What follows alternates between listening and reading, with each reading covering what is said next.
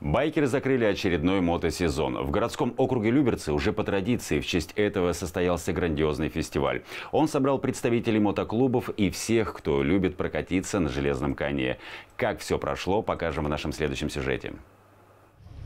Несколько минут до старта массового мотопробега. Сотни байкеров из разных уголков России собрались у сквера Победы в Малаховке, чтобы принять участие в заключительном в этом году заезде и подвести итоги ушедшего сезона. Без происшествий, все было хорошо, стараемся не нарушать правила. Э, Все прекрасно и погода радует. Традиционно приехали уважить организаторов, смотреть мероприятия, смотреть знакомых. Все пройдет нормально. Главное, чтобы никто там не сломался по пути, не заглох. Тогда едем, будет торжественная часть.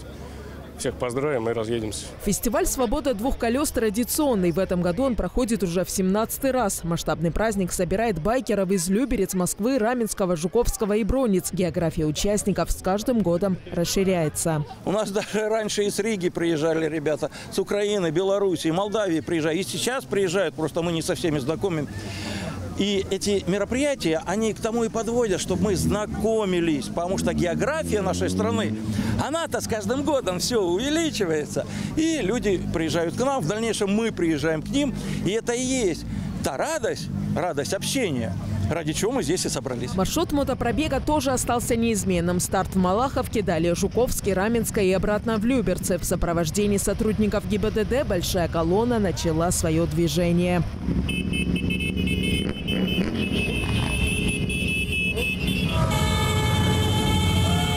Финиш мотозаезда – летний парк в Малаховке. Там участников фестиваля ждала насыщенная концертная программа с живой музыкой, зажигательным огненным шоу, увлекательными конкурсами и подарками. А в заключение праздника в небе над парком прогремел салют. Луиза Егиазарян, Денис Заугольников, телеканал ЛРТ.